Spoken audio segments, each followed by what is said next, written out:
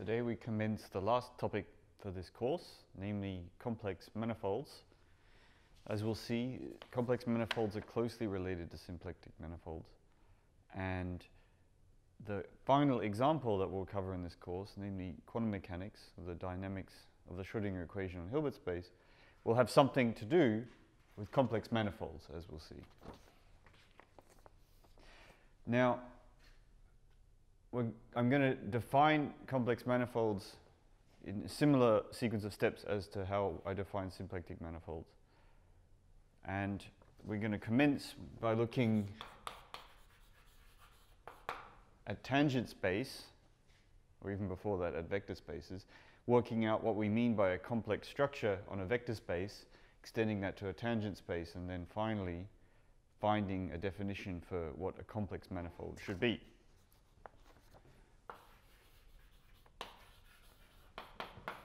So let's first look at vector spaces and what it means for a vector space to be complex, whatever that might mean. It's kind of clear what a complex vector space is. It's a vector space over the complex numbers. But what, what is it that really characterizes such vector spaces? Well, it turns out we have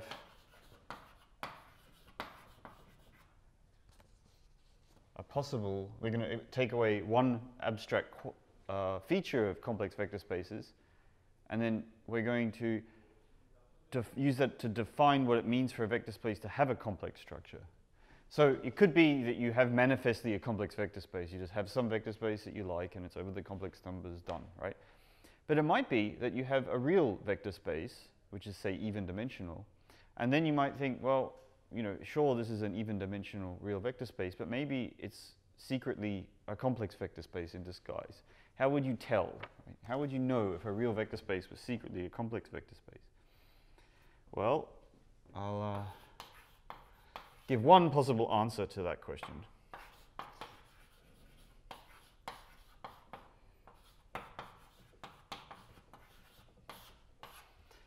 A vector space would be like a complex vector space if it had something like the number i acting on it. The imaginary number i.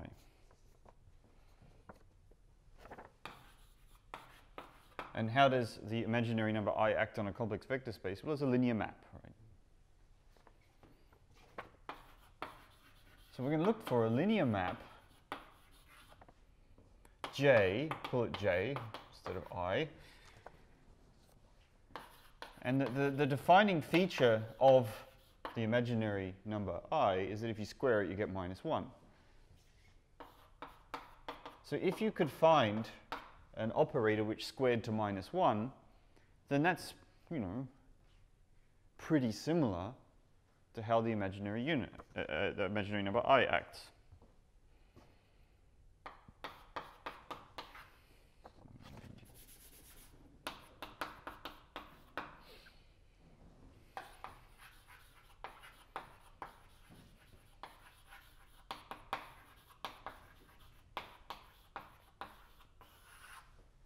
the definition we're going to go with. We say that a vector space, in this case over the real numbers, or otherwise, has a complex structure if you can find a linear map J, such that when you square J, you get minus the identity. And then, from now on, we'll think of J as the imaginary number i, square root of minus 1. So we'll diagonalize J and we'll work in that basis of J where J looks like square root of minus 1.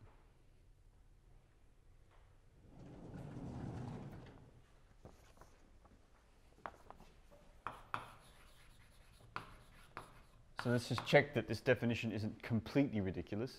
So uh, for the example where we really do have a complex vector space, it had better be the case that if j is meant to be like square root of minus 1, then it better be like square root of minus 1, right? So then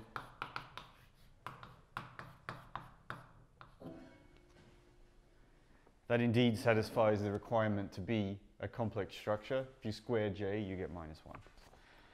So all is well.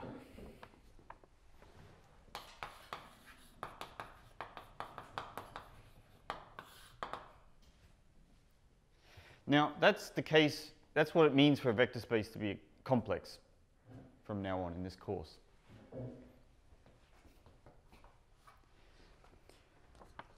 What we're going to do now is see how complex vector spaces interact with symplectic vector spaces. There's a lot of similarities between these two, two uh, linear spaces. Let's try and capture a notion of compatibility between these two, two uh, types of space.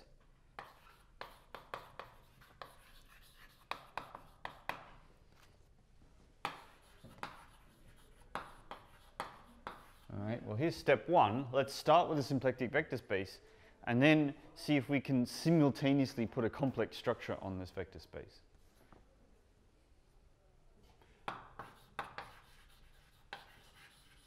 Well, we want to have, to, to be able to put a complex structure, structure on a symplectic vector space, well, you can do it, right? They, you, they could do the completely independently of each other. You could have some symplectic form, some complex structure, and it might be they have nothing to do with each other. But what we would prefer is that these, uh, these notions coincide. And so we have to come up with an idea of what it means play nicely together. And this is what we're going to do now in this definition.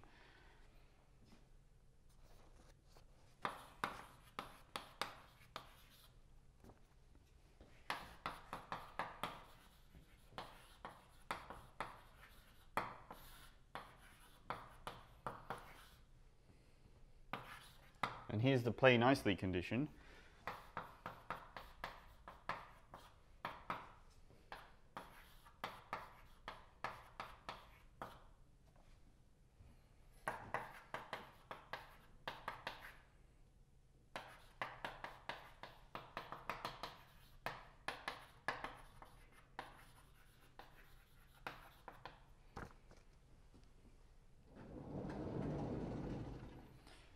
Play nicely condition is if you take the symplectic form and you build this new bilinear form using the complex structure, then this thing here is an inner product.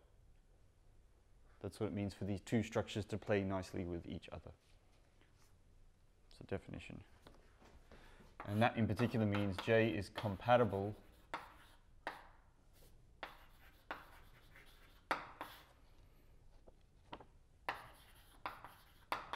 with omega if and only if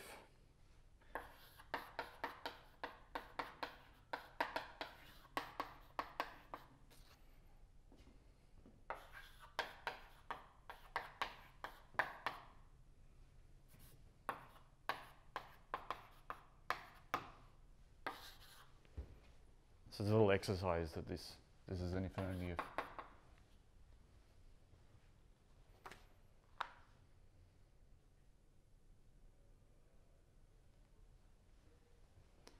So this tells us, if you like, multiplying by i doesn't change the symplectic form,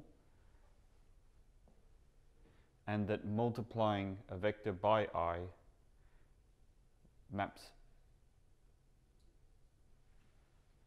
undoes, if you like, the symplectic form, turns it into a positive form. This is a bit abstract. We'll take a look at an example and then you'll see exactly where all of this comes from.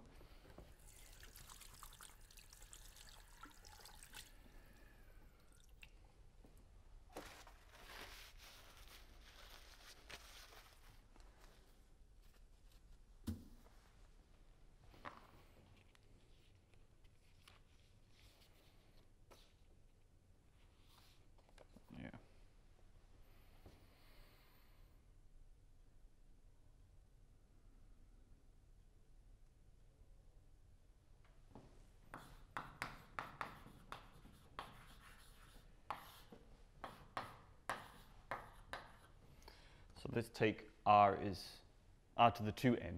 This is our vector space V. And we'll take the bilinear form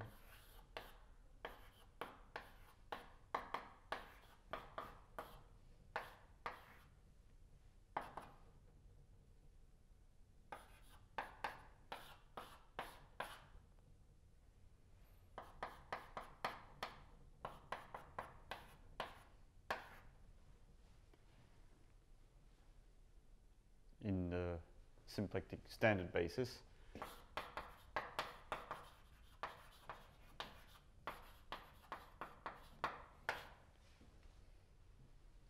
So we know that by the symplectic Gram-Schmidt process, we can always write a symplectic form in matrix form like that. And then you see that J, what on earth is J? Well, J is just this matrix here.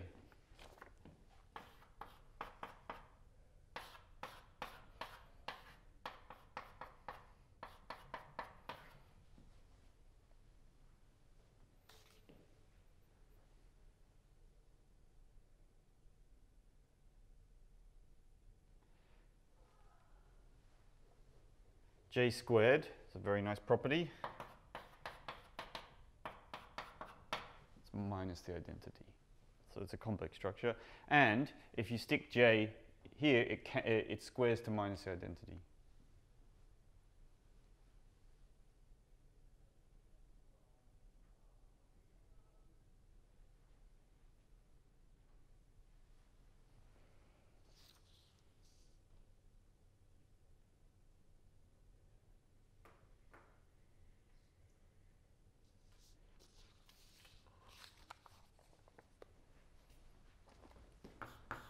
Okay, this example might make you optimistic that this is not just a uh, miracle of this very simple example, but maybe there's something more general here. And we already know, right, that thanks to the Gram-Schmidt process, that every symplectic vector space has a, a nice symplectic orthogonal basis, and you could always then imagine defining J using that basis. So let's see if indeed that's correct, and indeed it is,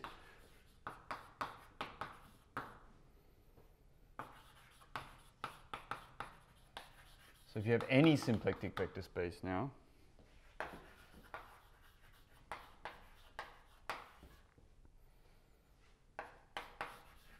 then you can always find a complex structure which is compatible.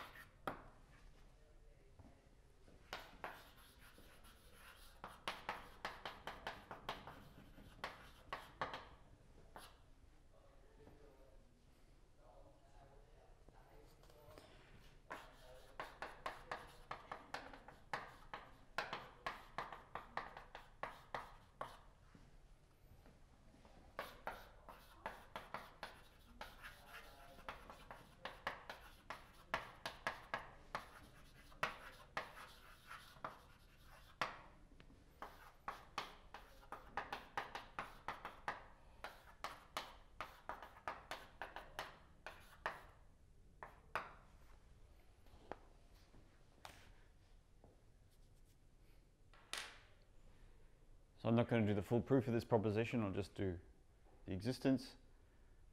This example here essentially makes it clear how to do it. If you have a symplectic vector space, then there is a compatible complex structure J on V.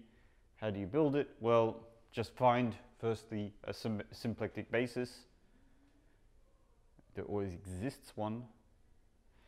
And then define J just like that j on e gives you f, j on f gives you minus e. So if you square j, you get minus the identity. So that's a complex structure, and it's certainly compatible with the symplectic form.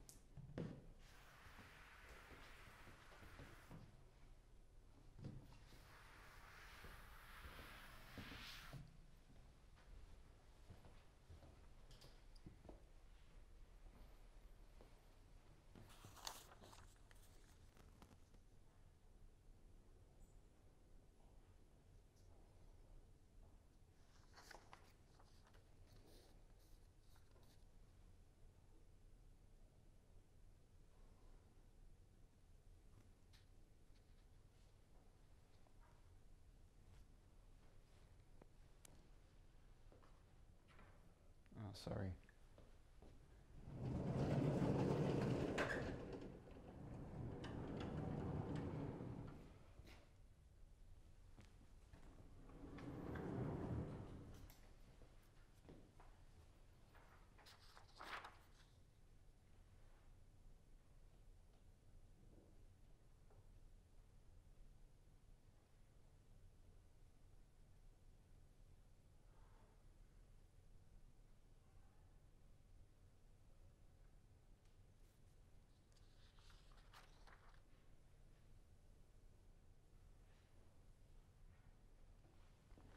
Hang on.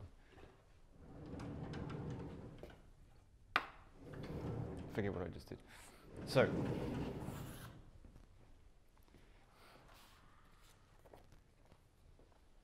that's what it means now for a vector space to be symplectic or complex or compatible. So if you like, we've already defined complex manifolds, but in this ultra-local neighborhood around a point, so namely on tangent space.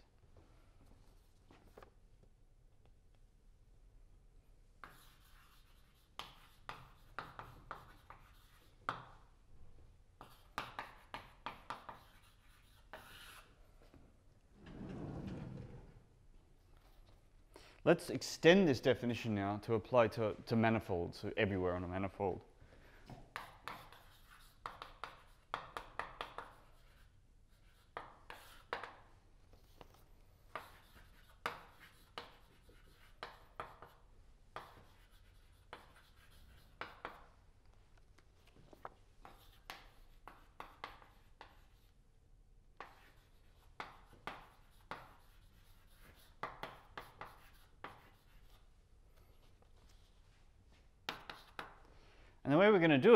We just extend the definition we just made on vector spaces to work on tangent space, but for all tangent spaces.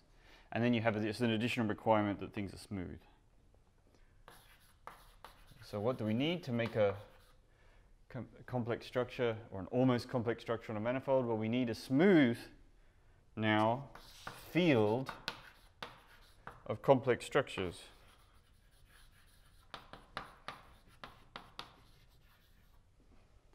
On tangent spaces.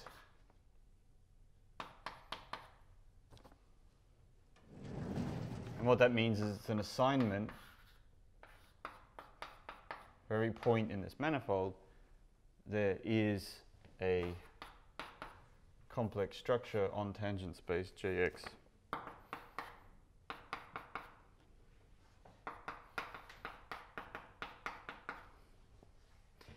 And this operator squares to minus the identity.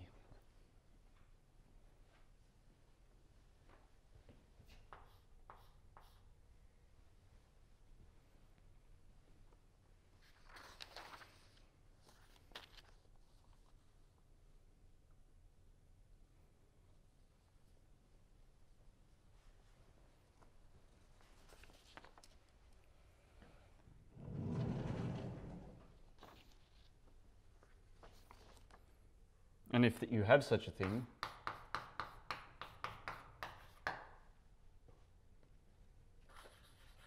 then we say that we have an almost complex manifold.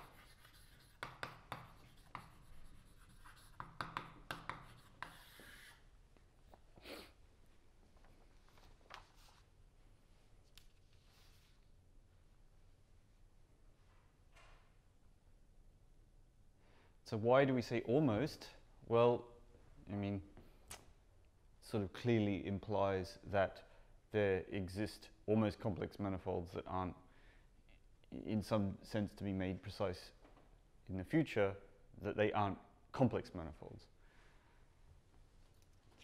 So we're going to have a separate definition of what is a true convex, a complex manifold, and it will have additional requirements. And so there are obstructions to turning an almost complex manifold into a complex manifold to do with like, extending this Jx all the way over the manifold.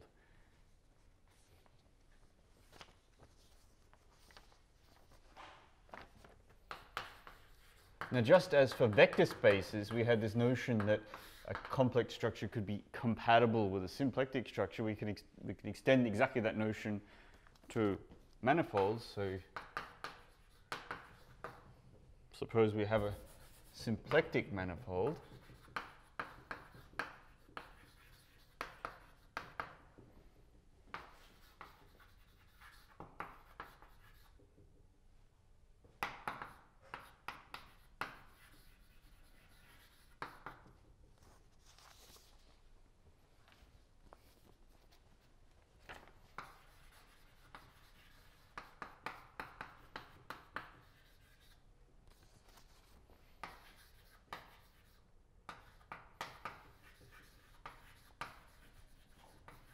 And it's exactly this local definition, but extended to apply to every tangent space of the manifold.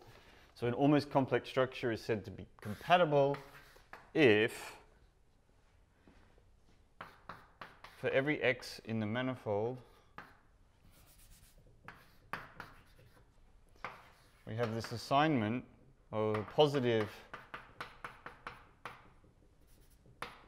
bilinear form to each uh, on tangent space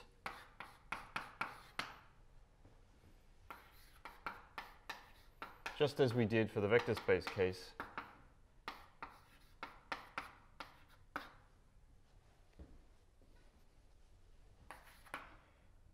And what do we call a positive bilinear form on tangent space, Well, we call it a Riemannian metric?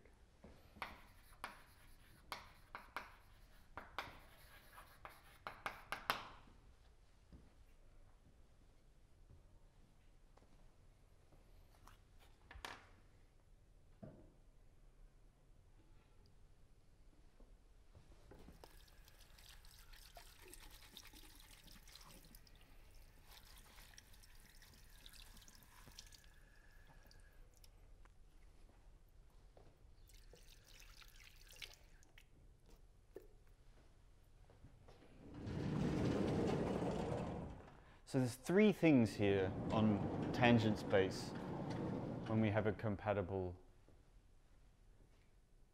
complex structure. You have the symplectic form, which is this non-degenerate 2 form. You have an almost complex structure, which is another kind of object. It takes a tangent vector and gives you a tangent vector. And we have a Riemannian metric, and these three things have to play nicely together in exactly that way. They're to be called compatible.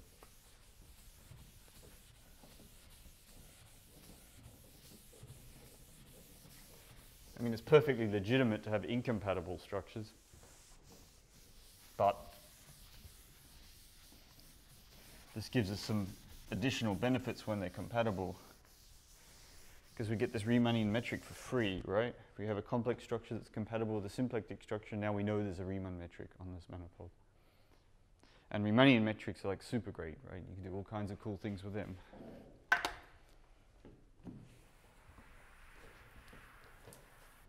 talk about parallel transport and curvature and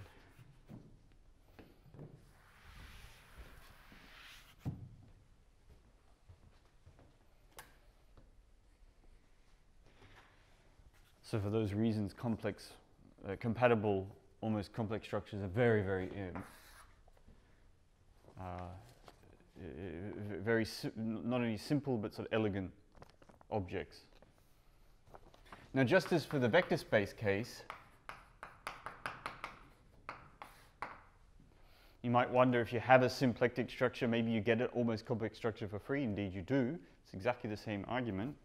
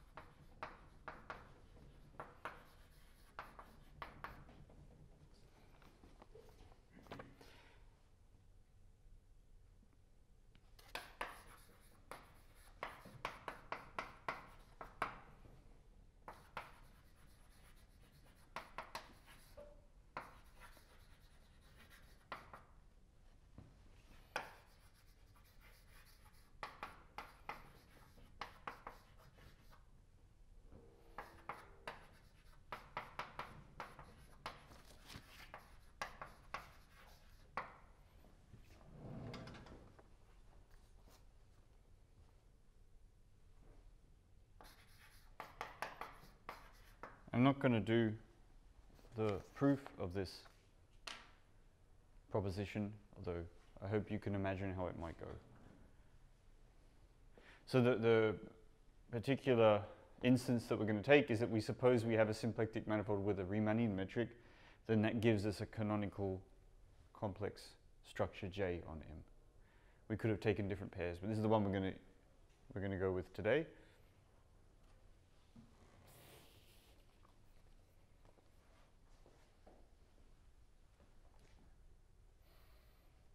Because the other uh, other implications are fairly obvious. If you have a symplectic manifold with a compatible, almost complex structure, then you have a Riemannian metric. That's just the definition. And if you have a Riemann metric and a complex structure, then you get a symplectic manifold as well.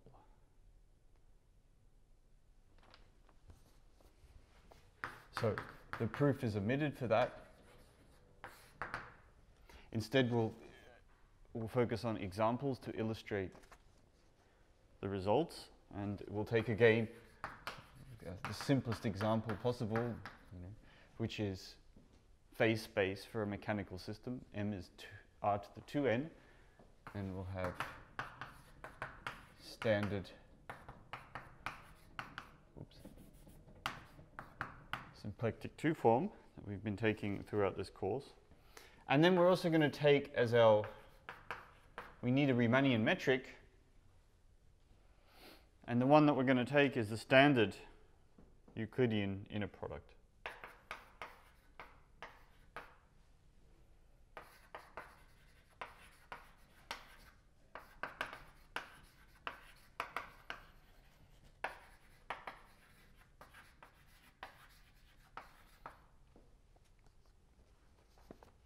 And then we're going to define the following almost complex structure So we need some map that takes a tangent vector, gives you another tangent vector, and squares to minus the identity. Take this one.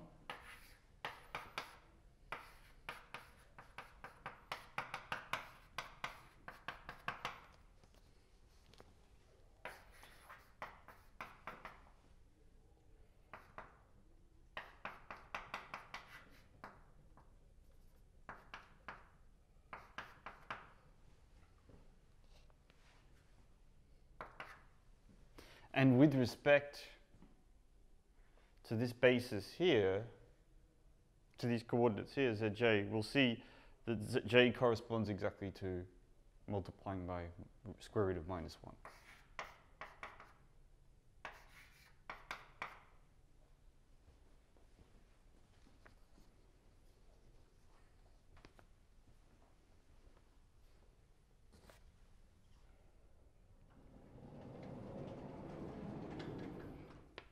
Also we have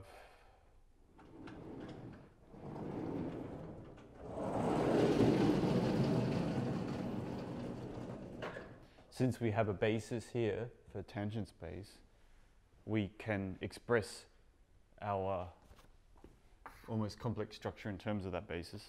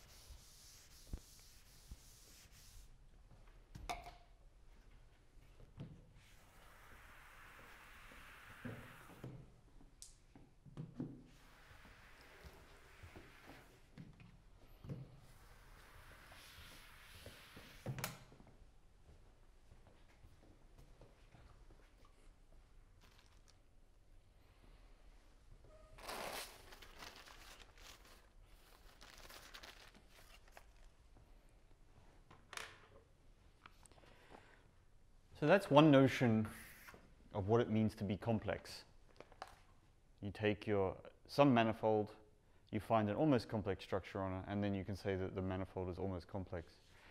But there's a completely different way you could define complex manifold.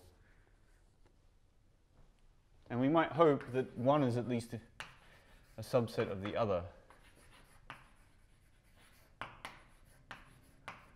So let's take approach two to defining what it means for a manifold to be complex. In approach two, we say a manifold is complex if it looks locally like a complex vector space. Excuse me, like the complex numbers. So this is the more traditional differential geometry definition. A manifold, uh, what's a manifold? Well, it's something with open sets which look which are locally homeomorphic to Euclidean space. Well, we're going to replace that with complex space.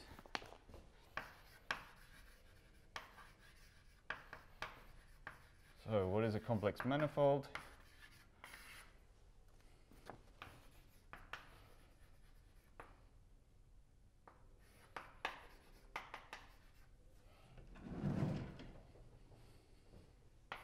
Well, it's a set, right?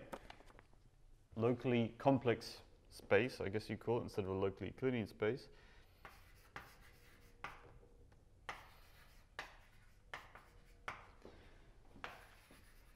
And so instead of having an atlas of charts that look locally like Euclidean space, now we have an atlas of charts that look locally like complex.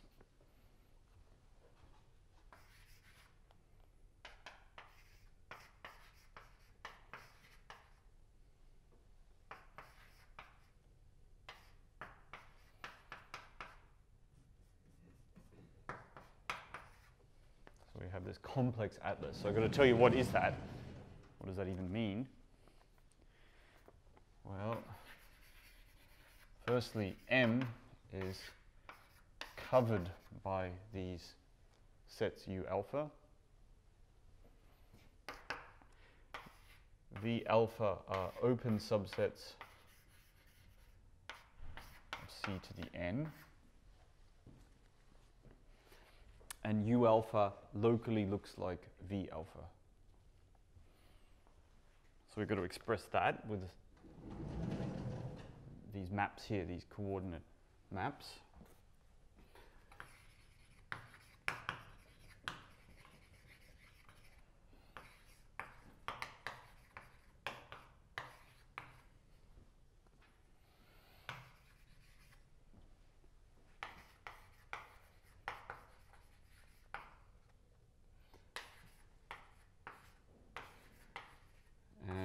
As we did for manifolds, we need that these maps are compatible with each other. If you decide to represent points in your manifold with some coordinate system on one day and then on a different coordinate system on the other day, it better be that everything's compatible. And let's say what it means, compatible.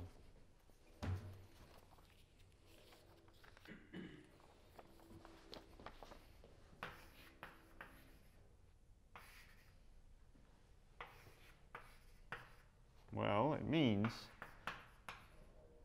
that this overlap function, psi alpha beta, they have to be nice, right? And what does nice mean?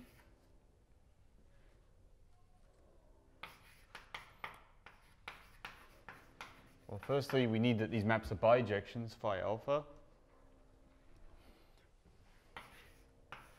And we need that these overlap maps are holomorphic.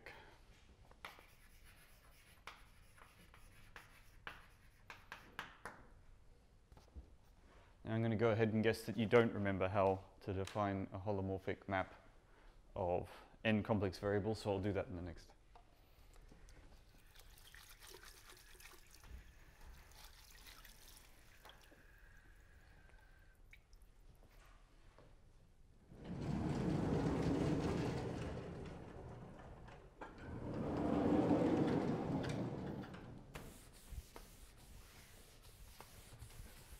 So the first thing to remember as I'm erasing the board is that a complex function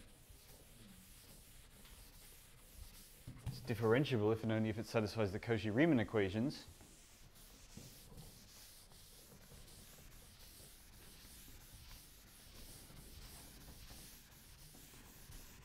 So start by remembering that.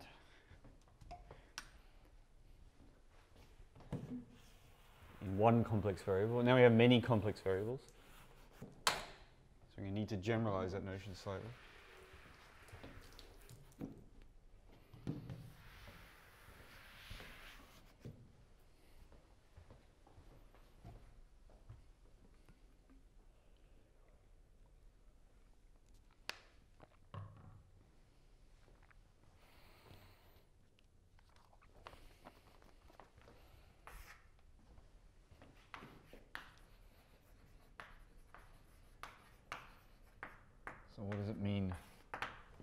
If you have a function of many complex variables going to many complex variables.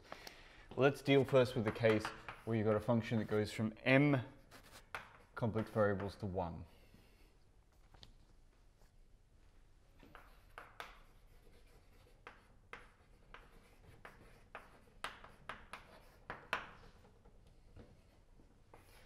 So if you separate f into real and imaginary parts,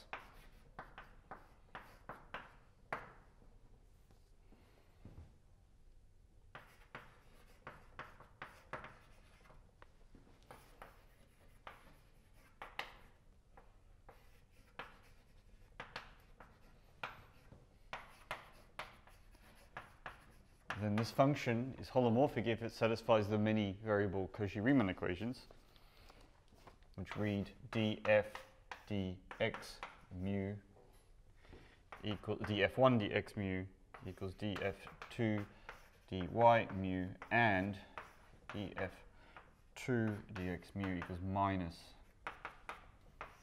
df1 dy mu.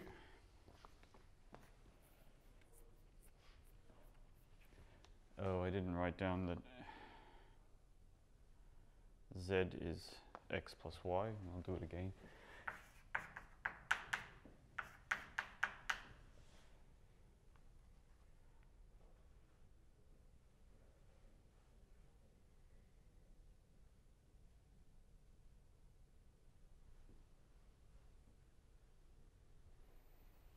Sorry, it's not upper indices.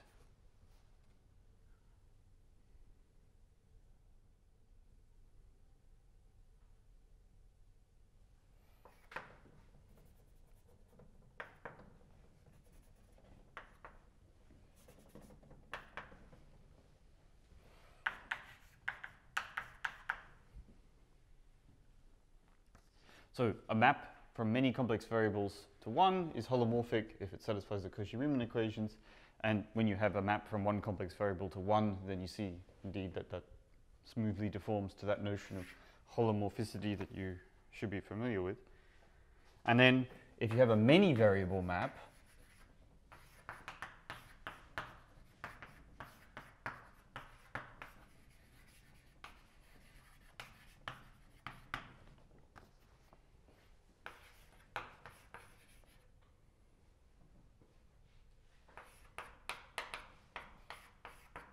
just write out the vector of these functions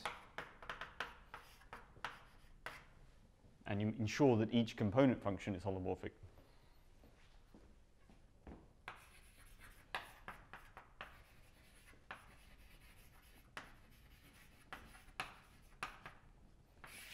All right, so that's what it means holomorphic. It means complex differentiable in each variable.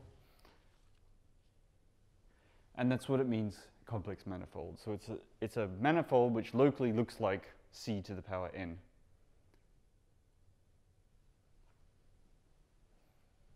And we don't have to say the word smooth because holomorphicity is a very strong constraint already by itself.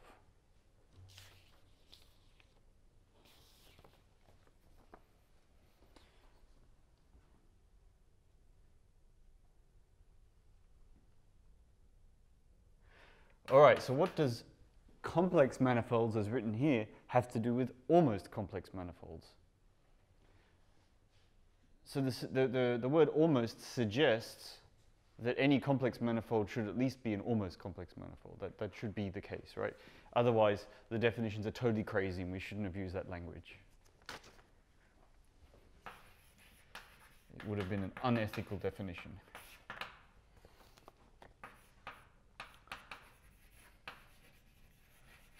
So that's right, it is the case. Every complex manifold is at least almost complex. Well, it's better than that. It has a canonical almost complex structure.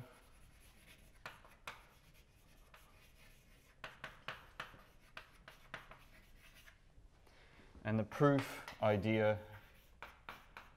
I mean, it's a bit longer than what I'm about to write, but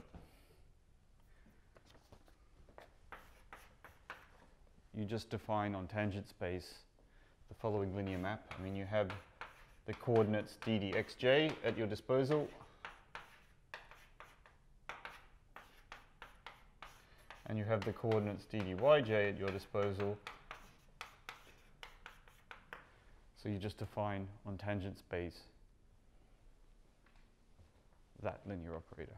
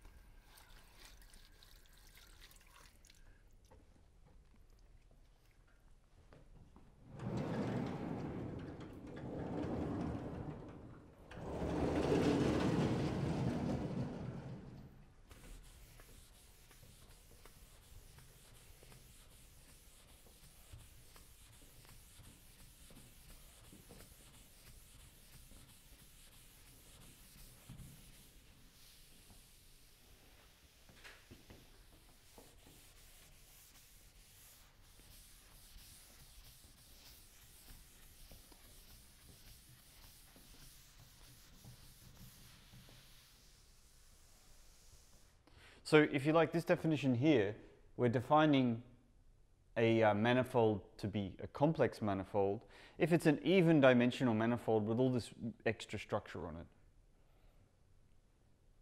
So you immediately write the complex numbers in terms of real and imaginary parts.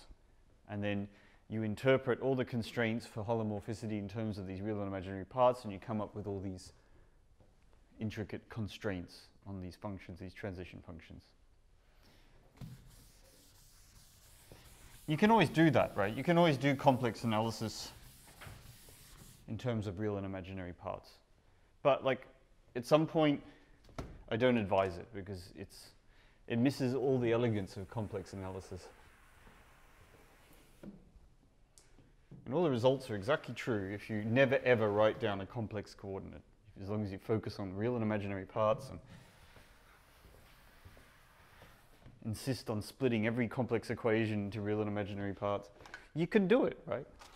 But it misses the beauty of complex analysis.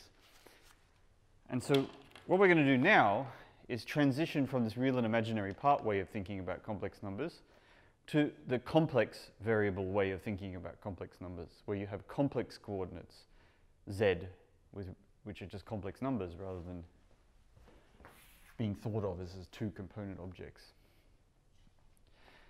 And when you do that, you come to this most confusing part of complex analysis, namely you have, you think about one complex variable, you have the complex variable z,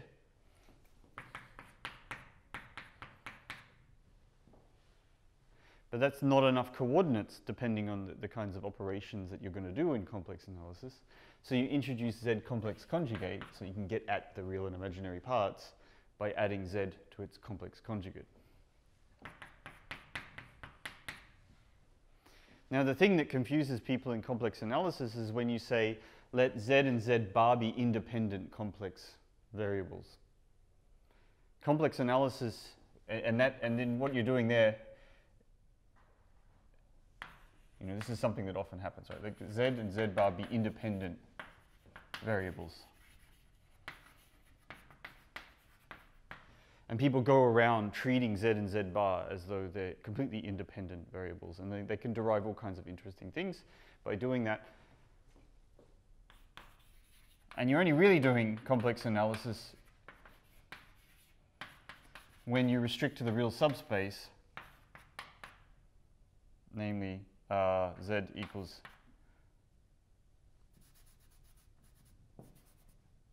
what am I going to say? z plus z bar is real. So that's, we're going to do exactly that. We're going to now introduce complex coordinates for all our manipulations, and we're going to think of z and z bar as being completely independent complex variables. And then only when necessary do we restrict to the real subspace. It's extremely convenient to have complex uh, coordinates which are independent, z and z bar, because it allows us to express the constraint of holomorphicity in a very, very ni nice way. We learn that a holomorphic function is one that only takes z's to z's and z bars to z bars. Extremely useful and simplifying a lot of our arguments. So on our way to building complex coordinates z and z bar, well, we need to like assemble together real and imaginary parts.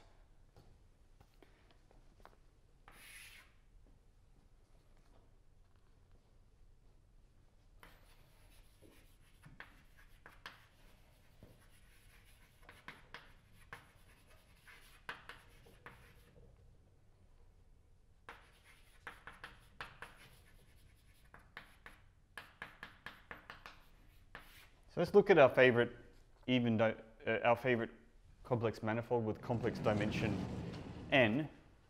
n here.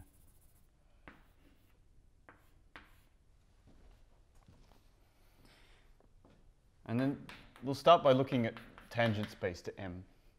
So tangent space to M is just this sort of linear span of the real and imaginary parts.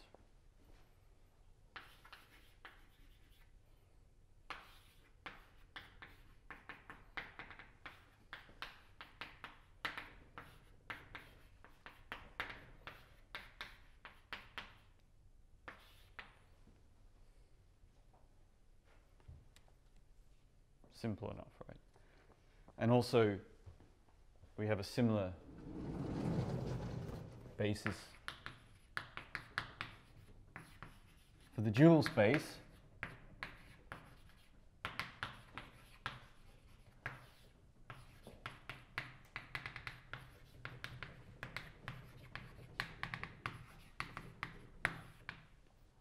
Like that. We have a dual basis. Yep, question? This is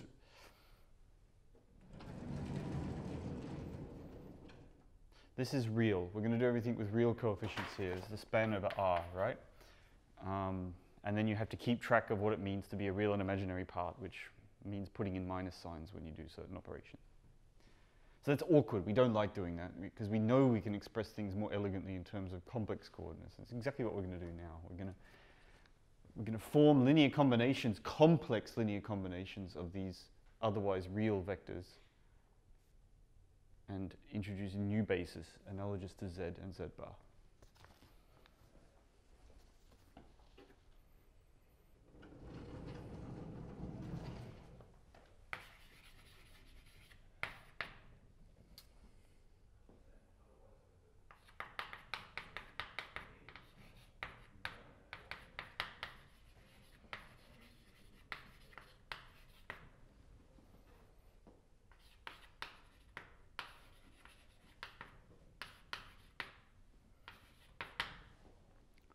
These complex coordinates, uh, these um, real and imaginary parts come from? Well, if you find a chart and the coordinates of P are exactly real plus imaginary parts like that. Now we get to do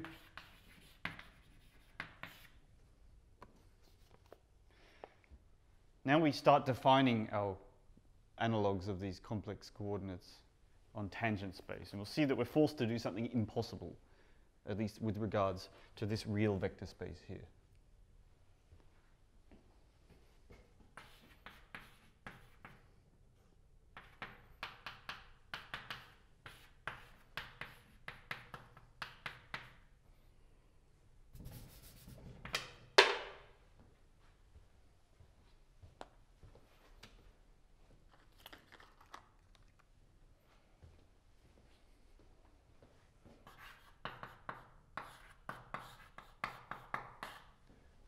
Define the following vectors. They no longer live in this tangent space. They can't possibly be living in here because that's a real vector space.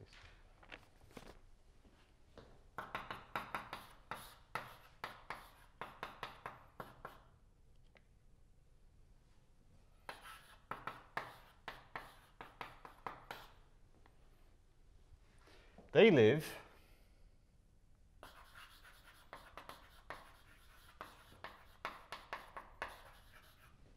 not in the tangent space, which is a real vector space, but its complexification. So you take a vector space and you just formally turn the coefficients into complex numbers. That's all we're doing here.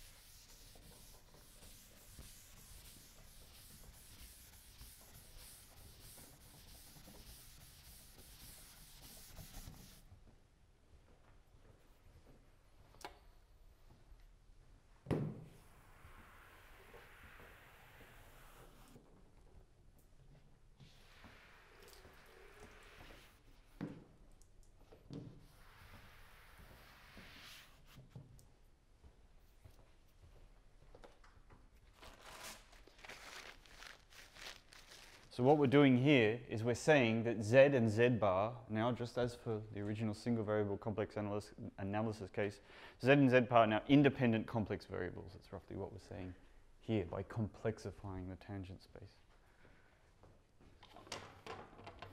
Oh, that tensor product is not over C, that tensor product is over R.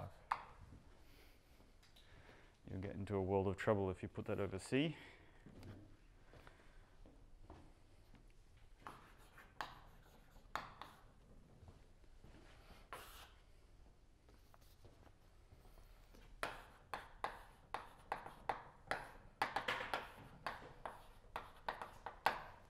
something, right? The complex conjugation operation, the standard one, has a nice effect on this, this basis vector here. It simply turns it into the corresponding basis vector ddz bar. Now we have a complex vector space here. We ha also have its dual complex vector space. We just complexify that as well.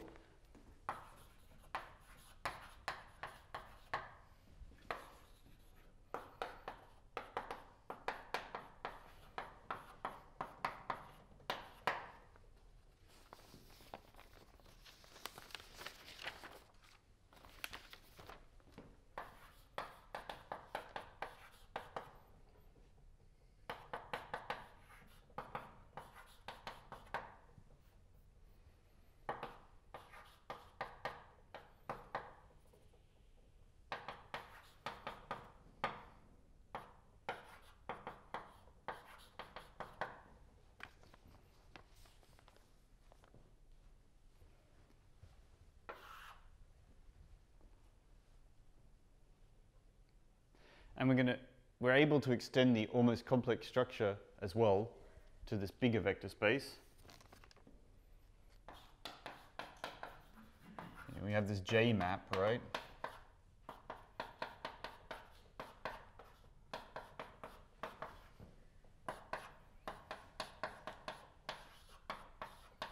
And the way you have it act is you just act on the first tensor product factor.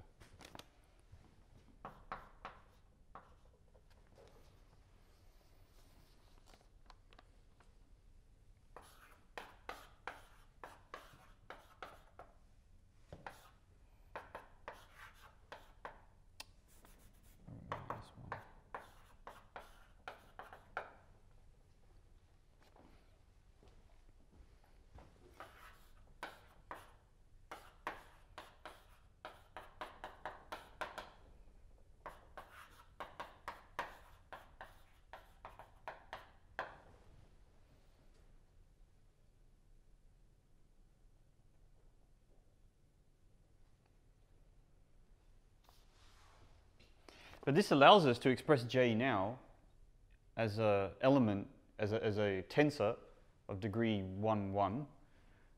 And it eats a vector and gives you a vector, so you can express J as a linear combination of tensor products of one forms and vectors.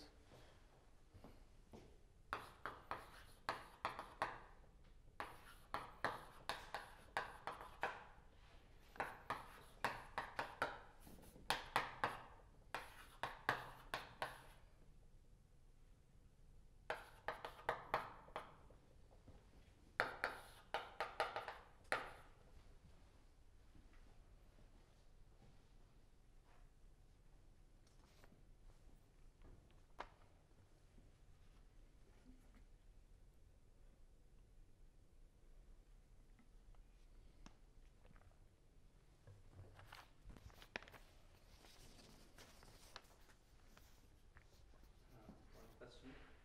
Yep. Um, we have, um, so if I have this clear, it- we have a priori, a a priori two different complex structures, the, the canonical one on C We have the canonical, yeah, a priori two complex structures, Yes. one on C, yes, to define this complex complexification, yes. and then And then we have this other thing, J, here. and we set it up so they are kind of equal. Yeah. Okay. Set it up so they're compatible here, except.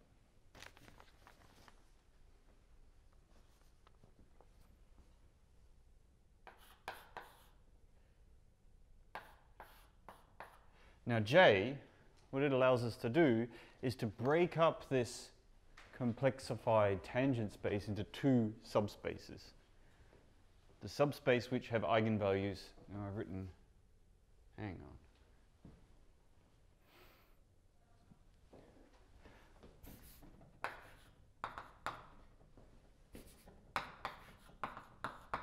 the subspace corresponding to eigenvalue minus square root of minus 1, and the subspace corresponding to eigenvalue minus square root of minus 1. Yep. Sorry, I have a little problem with the fact that it seems to be that J is uh, real. It seems to be that J is real. Because if you take the complex conjugate, you get the same. Uh, so in the eigenbasis, J has eigenvalues square root minus 1 and minus square root 1. Uh, so what does it mean real actually for you? Yeah, real is if you take the complex conjugate of J, J comes back. Yes. But for I, it's not the case. So complex conjugate is a basis dependent notion. Yeah, so if you change a basis in a vector space and you do a complex conjugate, it's not the same thing. So that's why it's sort of, one, one tends to avoid saying the words complex conjugate. Uh, in, in, one tries to avoid saying as though it's an invariant concept.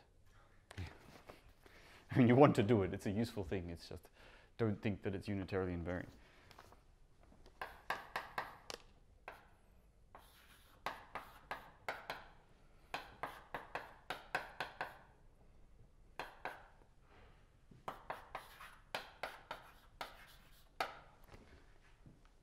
So we can break up this 2n dimensional complex vector space into two subspaces.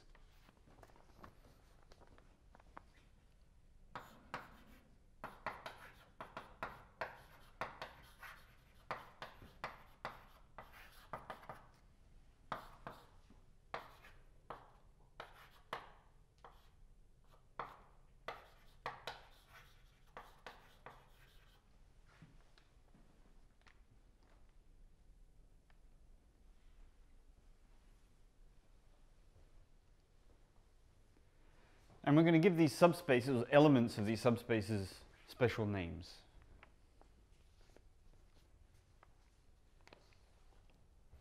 I'm going to call this one holomorphic and this one anti-holomorphic.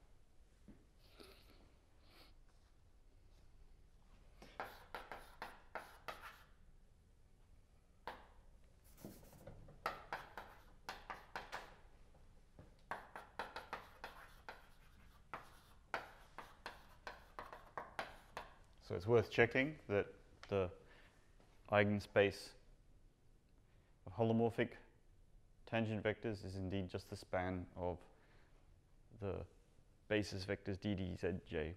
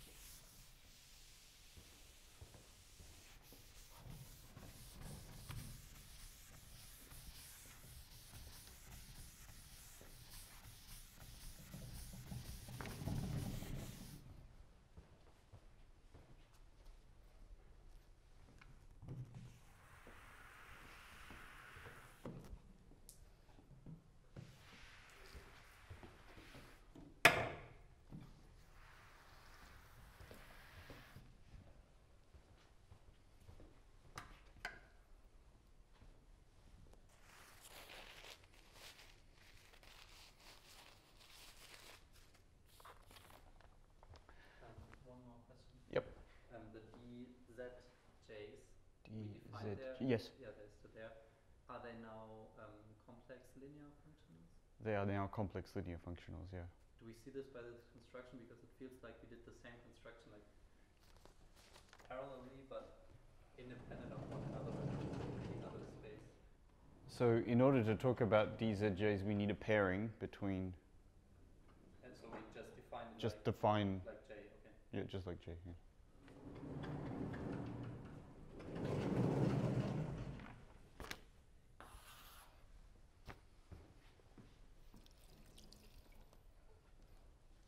Right, well, Okay, so if we have now a vector field, so this is just talking about vectors at a, in, at a point in tangent space. So if we have a vector field now on our complex, complexified tangent space. Then what this allows us to do is we can decompose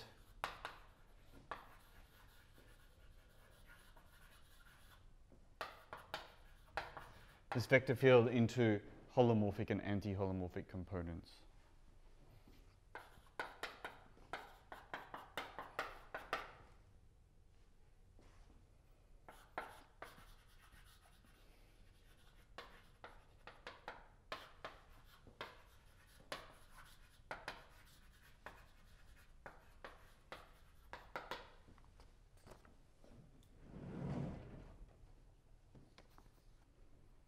And the reason we're doing all of this is to build up all the tools we need to do differential geometry on these complex manifolds in terms of these coordinates dz, well z and uh, ddz and dz.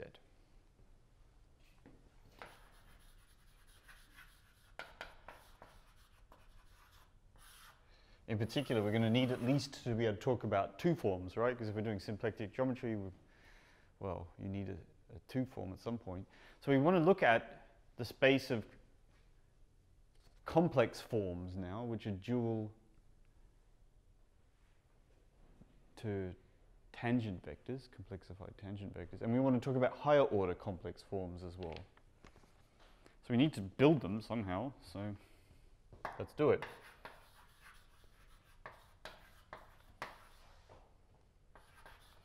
Here's the definition.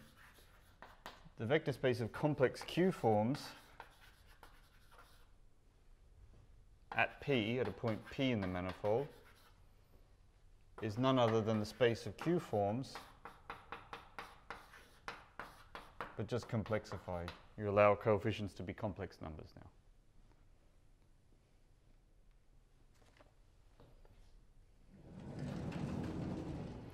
And now we're going to try and build bases for this space and decompose a form, a general form in ter terms of this basis.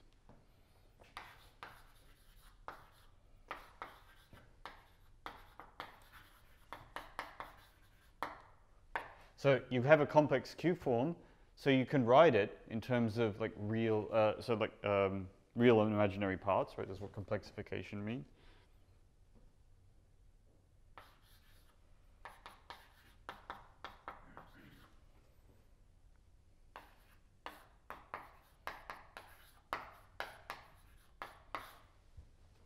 Oh, there should be a P here. We're doing things at P. So you can always write a complex Q form as a linear combination of two Q forms, real and linear, uh, real and imaginary parts.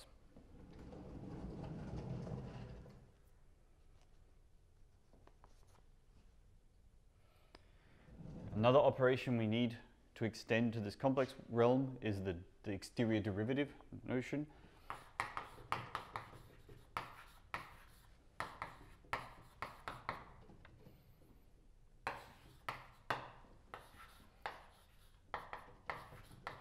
Just do what you think you would do. Just try the simplest definition possible, which is do the normal exterior derivative but on the real and imaginary components and make it a real operator so that it passes by i without complex conjugation. Well, that means that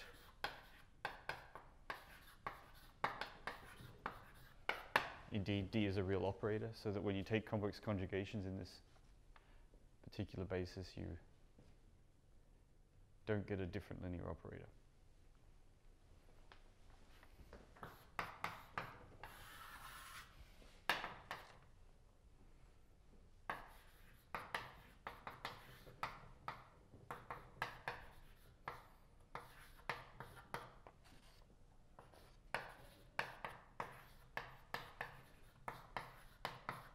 Let's check that the familiar properties of, of two forms and wedge products still carry over. It's an exercise here.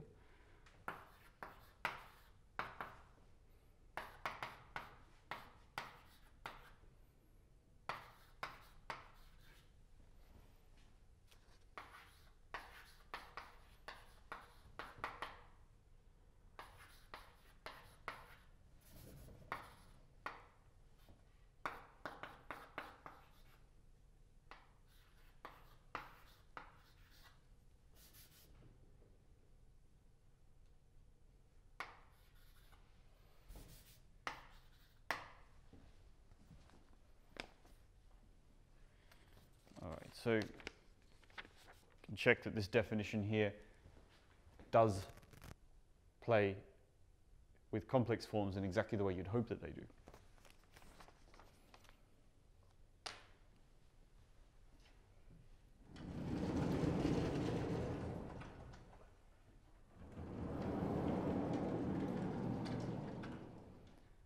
So this definition here has the same defect, if you like, as the other def definition, namely we haven't expressed it in terms of our z and z bar coordinates yet. Let's rectify that and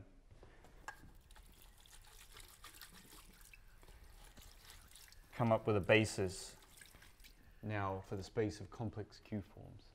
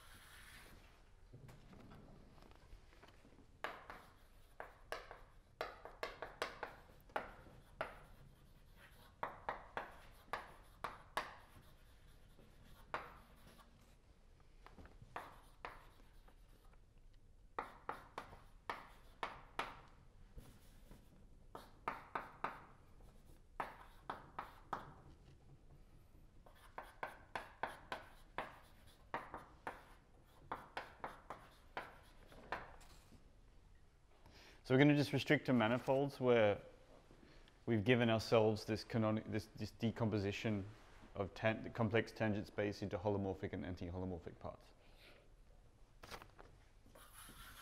So where we have this, define this al almost complex structure J.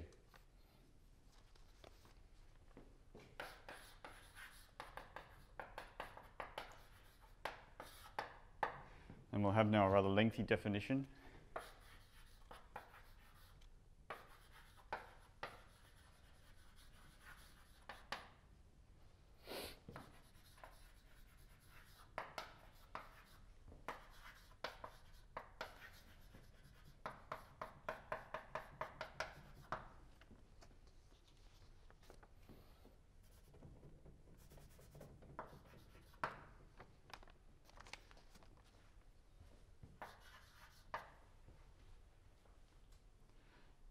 We start with an m-dimensional complex manifold, and we're going to try and understand this complexified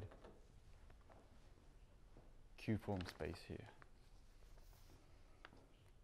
And we'll see that there's a little bit of internal structure that we can extract.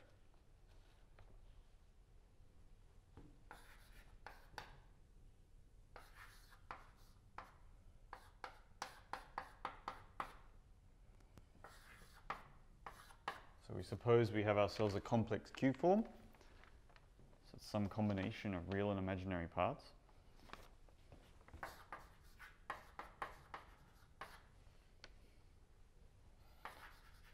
And further, we assume we have some integers r and s, non-negative integers. I will reveal this r plus s equals q. Wait on.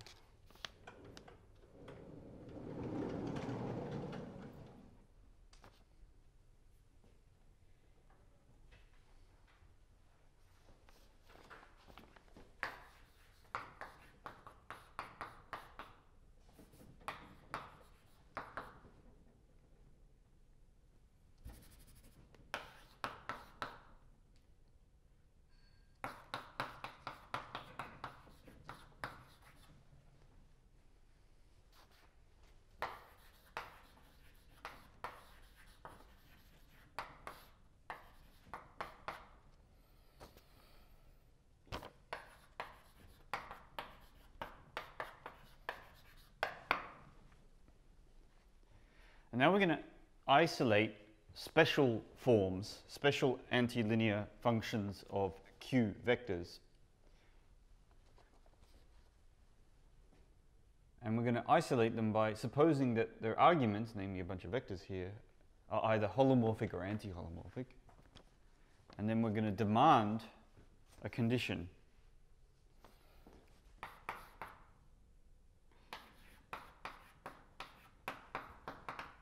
here's the condition we're going to demand. If, when you substitute these vectors into the argument of your favorite complex Q form, you get zero unless R of these VJs in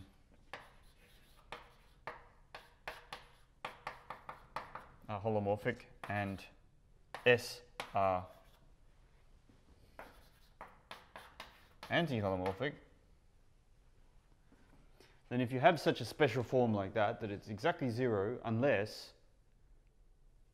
R of these vectors are holomorphic and R are not, uh, uh, and S are anti-holomorphic, if you've got such a form, we're going to call this a, a form of bi-degree R comma S.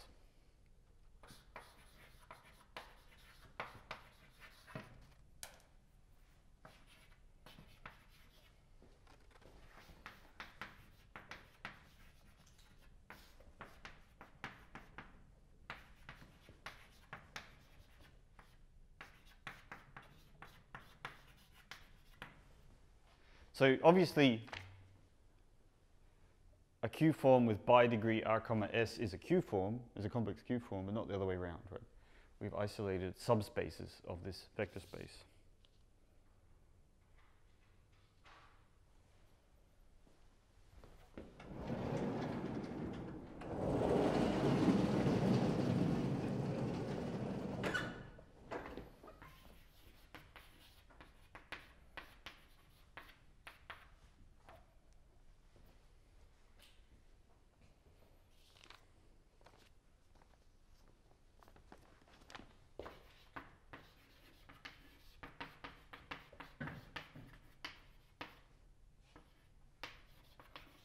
Denote the set of RS forms at P, it's obviously a subspace of the, of the set of all complex Q forms, as omega R comma SP at M.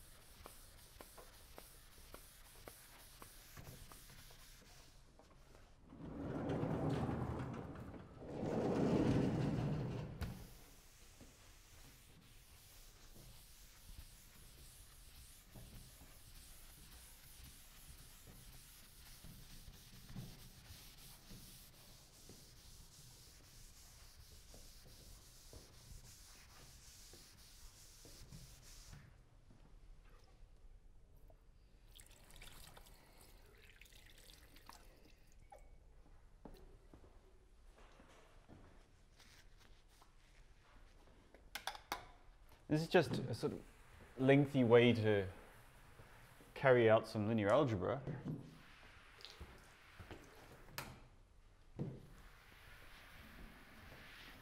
If you remember,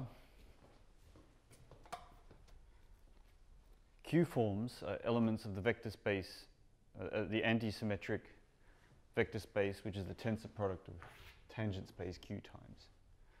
So.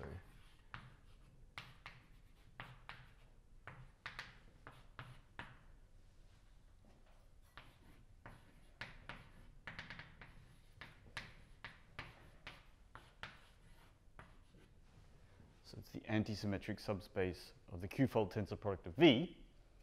Now, what we're doing up here is we're observing that when V has this uh, direct substructure, when V is the direct sum of two subspaces, as is the case in the complex case, and you put that in here,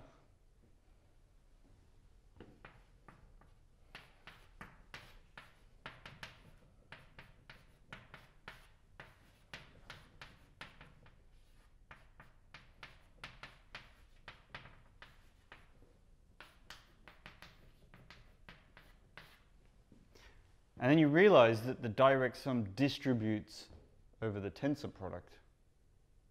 And you can get a different decomposition here. It's two ways of writing exactly this vector space.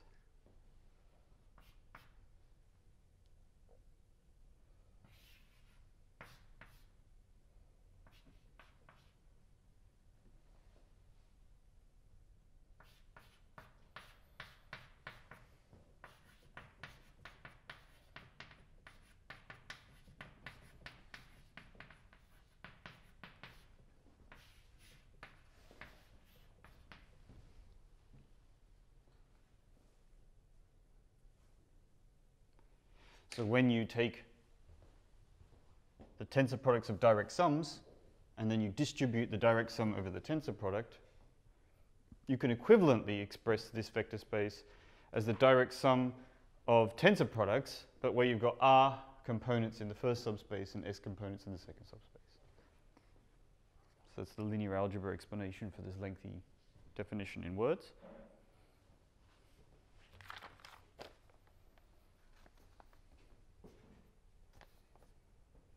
Okay, a smooth.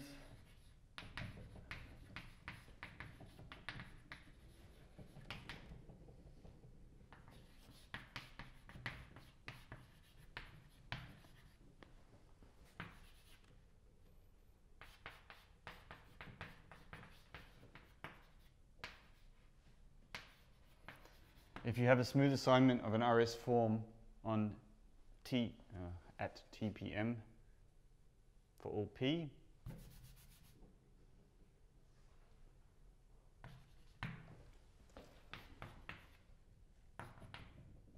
sorry, it's omega, isn't it? Omega Q RS for all P, then we call that an RS form over M. And we denoted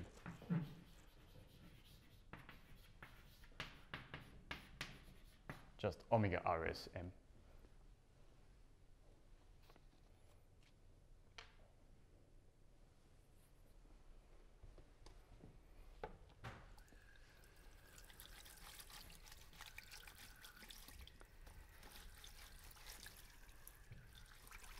Now let's take a look at our RS forms in a chart.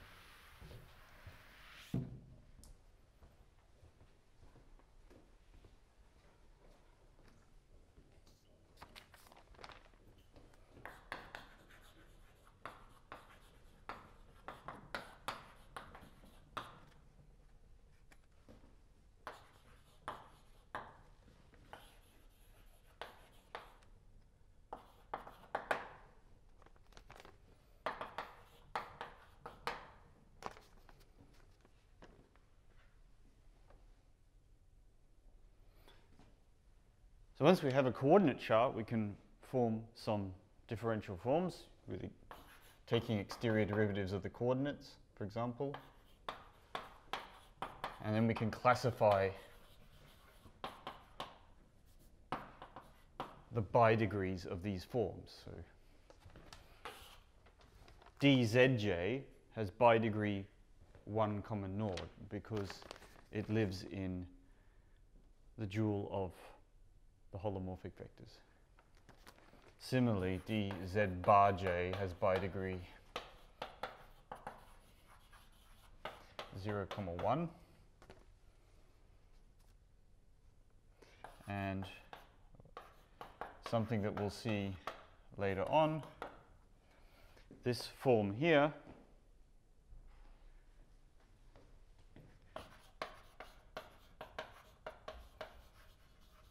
has bidegree 1 comma 1. Very interesting to form that one. And if you have a generic form of bidegree omega rs, uh, uh, of, of bidegree rs, then you can express it in terms of wedge products of these basis forms.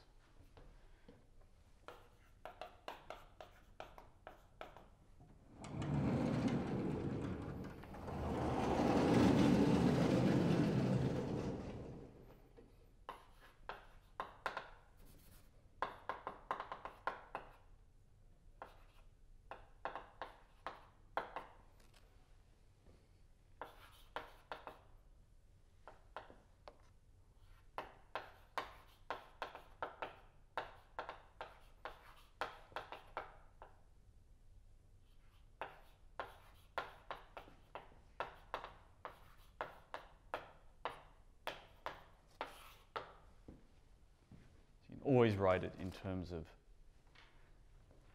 this particular basis here. Oh, there's a sum that's missing. Sum over the j's and the k's. And this is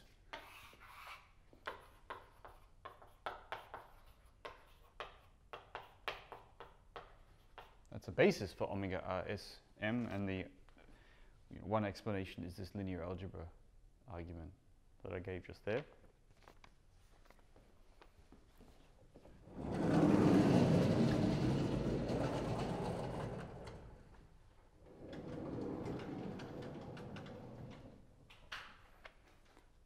And we'll end with a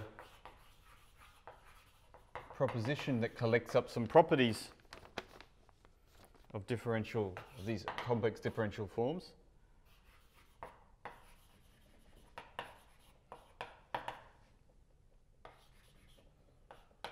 So we suppose we have a complex manifold of complex dimension m.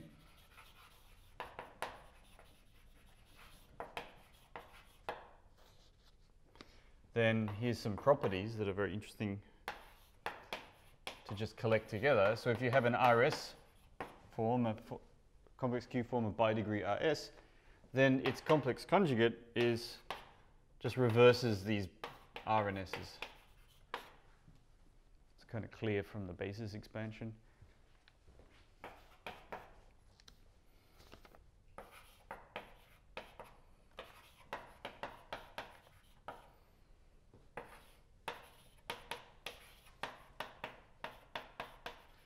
And if you have two such forms, perhaps of differing bi degrees, and then you wedge them together, well, that's in R plus R prime, S plus S prime. And finally is the decomposition that I've already alluded to. You can always express a complex Q form as a linear combination of forms with bi-degree RS. I mean, your generic complex Q form won't have a bi-degree.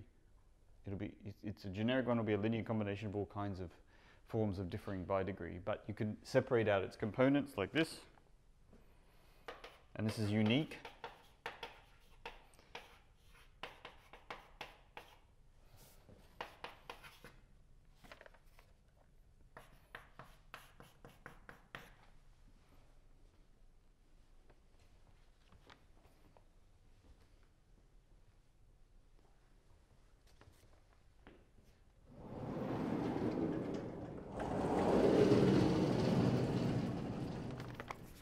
And if you like, we could summarize D, summarize the observation we made just before, that the complex Q forms of M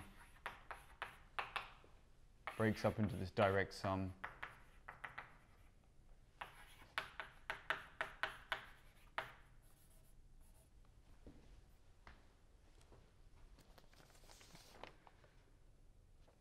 like that.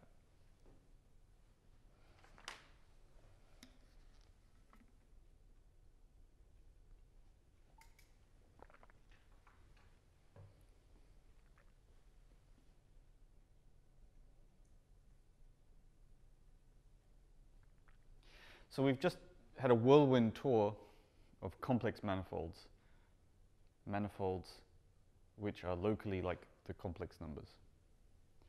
And we've introduced a, uh bunch of substructure to the space of differential forms on these manifolds.